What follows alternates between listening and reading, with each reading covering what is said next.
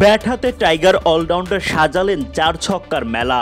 এক হাজার সাতশো একাশি দিনের লম্বা অপেক্ষার পর দেখা পেলেন কাঙ্ক্ষিত সেঞ্চুরির।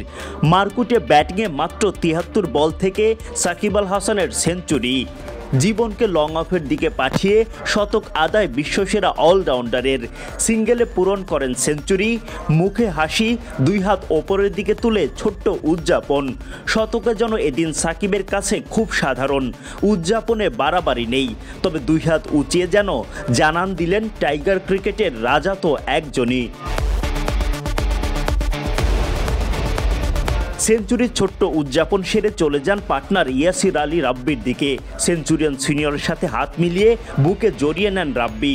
শতক হাঁকানো সাকিব সিক্ত হন দর্শকদের করতালিতেও।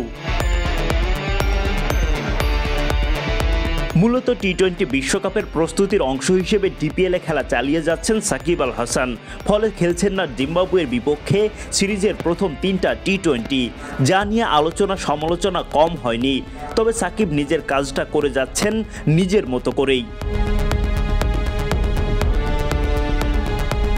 টি টোয়েন্টি বিশ্বকাপের প্রস্তুতির অংশ। তাই তো ওয়ানডে ম্যাচেও যতটা আগ্রাসী হওয়া যায়।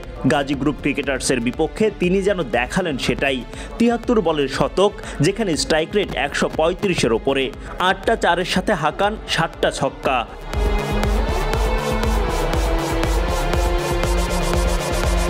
শুক্রবার বিকেএসপিতে সাকিবদের শেখ জামাল ধানমন্ডি ক্লাব মুখোমুখি হয় গাজী গ্রুপ ক্রিকেটার্সের।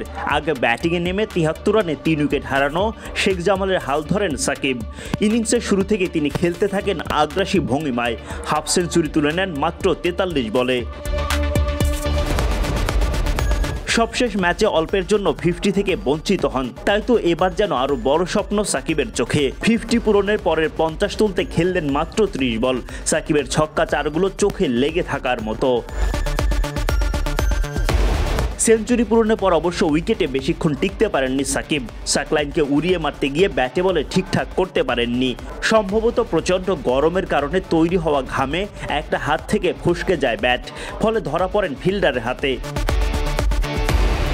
ফেরার আগে ঠিকই নিজের কাজটা করে দিয়ে যান বিশ্বসেরা অলরাউন্ডার। উনআশি বল থেকে করেন একশো সাত রান। তার ব্যাট থেকে দেখা মেলে নয়টা চার ও সাতটা ছক্কা। এমন ইনিংসে সাকিব বাহবা পান প্রতিপক্ষ দলের খেলোয়াড়দেরও। জাগ আউটে পান সতীর্থদের বাহবা।